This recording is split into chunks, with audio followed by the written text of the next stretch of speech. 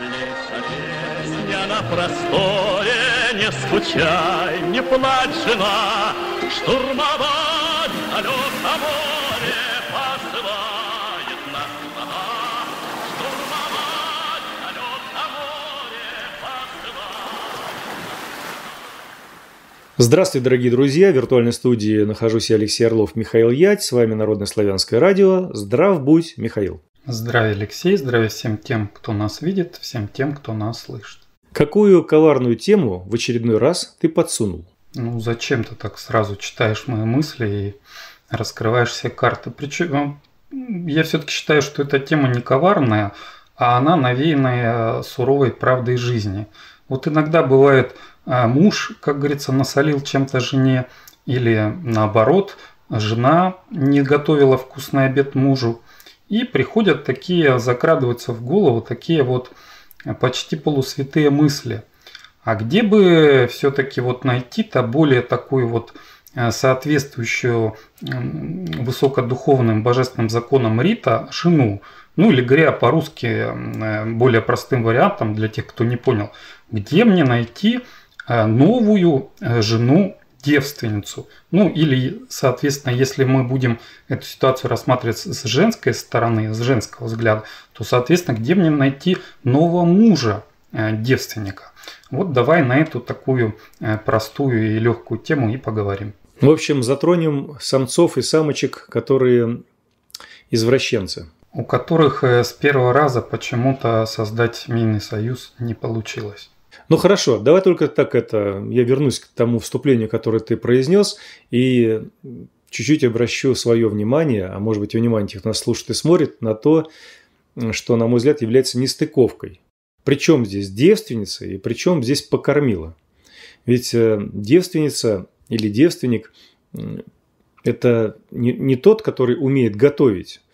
Это не хозяин или хозяйка на кухне, не шеф-повар в ресторане – это тот, который, или та, которые сберегли чистоту крови, которые стремятся к тому, чтобы род, который они будут продолжать, был чист.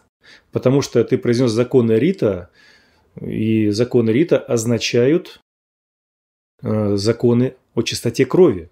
Вот так это переводится. И питание, на мой взгляд, конечно, очень важно, очень хорошо и классно, но все-таки это не закон Рита. Вот видишь, какой ты все-таки, не могу сказать коварный, какой ты вот все-таки внимательно слушающий, всеобъемлющий, понимающий проблему вот э, соавтор этой программы. Действительно, это как бы, можно сказать, не я ступил, а вот это такой определенный был э, заковыристый ход. Но если как бы без шуток, то на самом деле есть фраза «А, «было бы желание, а повод найдется». На какой почве поссориться, эм, разбежаться, то есть убежать от проблем, этих поводов можно, может быть э, большое количество. А вот эту тему все-таки я ну, решил затронуть по, вот именно по такой причине, когда люди которые считают, что вот другие там, там моя половинка предыдущая плохая, поэтому, соответственно, вот у меня с ней не сложилось там с первого, там с второго, с третьего раза, потому что обычно вот это бывает не в 18 лет, вот такие вот вопросики-то в современном обществе а, я слышу от э, мужчин, от женщин, а уже когда им так поболее. И когда уже сами-то они уже как бы и не соответствуют вот этому требованию, которое, оно, которое, которое они предъявляют к а, будущему спутнику их э, семейного союза. И получается, если мы дальше будем разбираться, сейчас подключу простую математику, и простите, ну как это будет не обидно там звучать, это все-таки разбор этой передачи для того, чтобы кого-то там обидеть, а к тому, чтобы мы задумались, что э, когда мы сами э, поступаем не так, как хотели бы, чтобы поступали с нами, э, то в итоге, скорее всего, ничего хорошего из этого не получится. И теперь конкретно поясню. То есть у нас была с Алексеем передача, название сейчас точно не помню, но если надо будет, я как бы найду на нее ссылку и разместим под этим роликом. Э, подоплекой, которой был вопрос женщины, где она написала нам очень так э, жестко, что вы занимаетесь ерундой, разбираете какие-то неполезные, не ненужные темы, а на самом деле в России 10 э, миллионов э, женщин, которым вообще нету пары мужчины, то есть не найти. И получается, по ее словам, было, что женщин рождается очень много, а мужчин практически ну, очень мало. Когда мы подняли статистику Росстата, то оказалось даже на первоначальном этапе мальчиков рождается чуть больше, чем девочек. Но в процессе роста, так как мужчины, ну, мальчики там более любознательны, лезут куда не надо, на определенном этапе полового созревания количество мальчиков и девочек сравнивается. Но теперь уже простое математическое действие. То есть мальчики и девочки подросли, пришла им пора создавать семью – и вот у нас есть 10 мальчиков и 10 девочек, которые вот росли, вот соответствуя законам Рита. И вот они решили создать семью. И с первого раза по какой-то причине у них не получилось. Ну и вот теперь как бы вопрос на засыпку, а где им, собственно, найти э, на вторую попытку вот тем, которые будут соответствовать. Мне кажется, если мы так вот здраво подумаем, то все-таки может э, начать нам себя и вот это уже разумное, доброе, вечное э, прививать нашим детям, нашим внукам. Если мы а вот э, в то время, когда нужно было проявлять мудрость, ее по каким-то причинам проявить не смогли. Ну вот как-то так. Начать себя – это что, сходить к хирургу, чтобы он тебя девственником, что ли, сделал? Начать себя – это не пытаться переделать мир под свои шаблоны, а пытаться самому а, измениться в лучшую сторону. И вот это лучшее, разумное, доброе, вечное уже прививать своим детям и внукам, потому что, а, опять хорошая фраза, которая и в песне была, я тебя слышал. Один раз в год сады цветут. И вот в это время, чтобы когда наши дети подросли, они уже соответствовали законам Рита, а в других семьях были как раз – соответствующие им половинки. Я тебя понял. Здесь получается другая ситуация. Начать с себя не с точки зрения, чтобы себя девственником сделать, а то многие, наверное, так и услышали, как я, а с точки зрения того, чтобы нашим детям, нашим внукам, кстати, с детьми тоже уже провал, уже проиграли, а нашим внукам ну, я имею в виду старшее поколение, а нашим внукам э, давать правильную информацию, давать правильное представление о жизни. Вот в этом случае тогда что-то можно будет на места свои восстановить.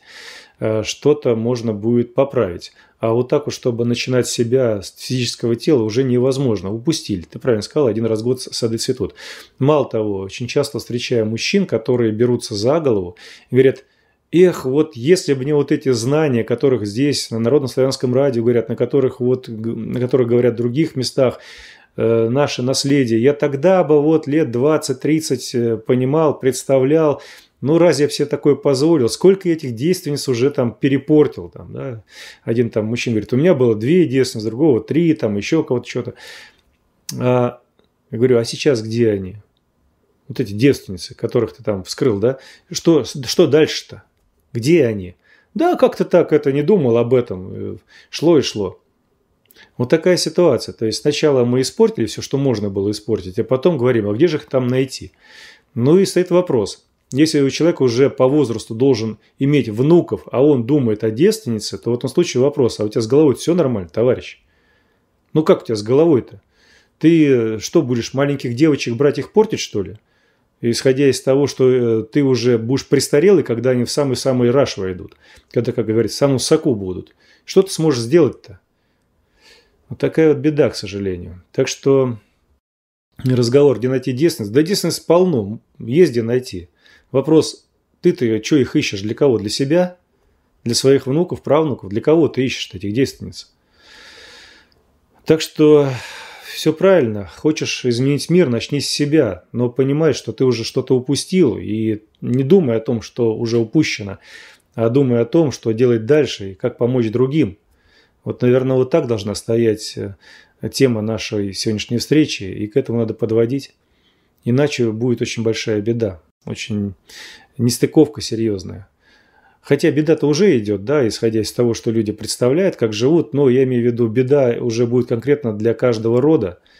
Потому что сейчас еще какая-то возможность исправить ситуацию есть э, через донесение информации, через развитие, например, средств массовой информации своих родных, через которых эта информация будет доноситься, через создание своих э, каких-то объединений, которые будут позволять людям не выживать, а жить в достатке, через э, выращивание необходимой продукции, создание необходимых производств, реализацию, создание трудовых мест и создание, в конечном итоге, местного самоуправления уже правильного, ну и так далее и тому подобное, о чем мы постоянно говорим.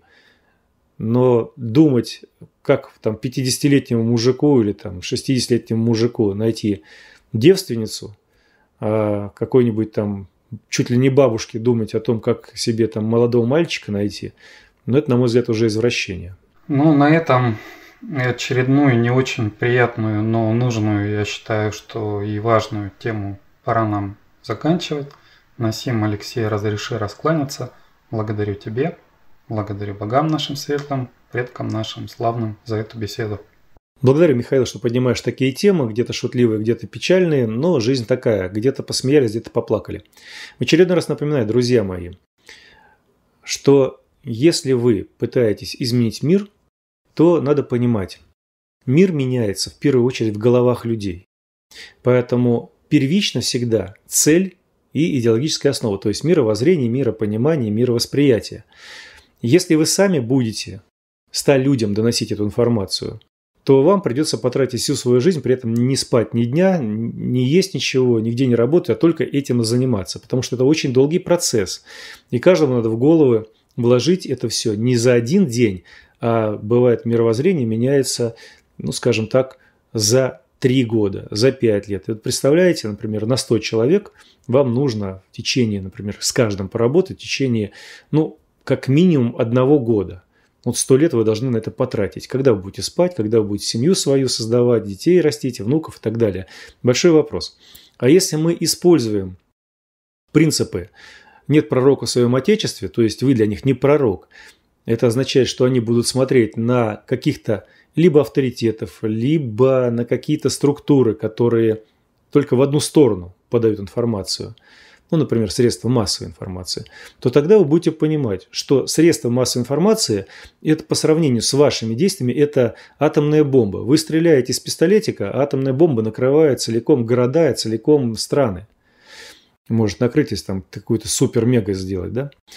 То вы тогда, поняв это, будете поддерживать то средство массовой информации, которое способно доносить правильные знания, правильные основы бытия, чтобы ваши дети, чтобы ваши внуки и правнуки это все улавливали. И в этом случае тогда ваша поддержка будет к месту, и вы сможете донести до большего количества людей посредством, ну, нужную информацию, посредством того самого СМИ, которое поддерживаете. Вот теперь стал вопрос, что вы поддерживаете? Какие средства массовой информации? Каких блогеров? Какие команды? Смотрите ли вы телевизор, который живет за счет рекламы? Смотрите ли вы каких-то блогеров, которые показывают голые задницы там, и кричат о том, что все пропало? Либо все-таки вы изучаете что-либо и внимательно изучив, начинаете делать. Вот встал вопрос, в первую очередь, о том, насколько здравомыслие присутствует в вашей жизни, насколько оно поселилось в вашей голове, насколько царь в голове включен. Исходя из этого уже будут и последствия. И для вас, и для ваших детей, для ваших внуков и правнуков, и для всего мира. На сими с вами прощаюсь. Напоминаю, напоминаю, вы смотрели, слушали Народное славянское радио. Виртуальный студия находился я, Алексей Орлов и Михаил Ять. До новых встреч, друзья мои. Увидимся и услышимся. Быть добры. Штурмовать далеко море посылала на страна.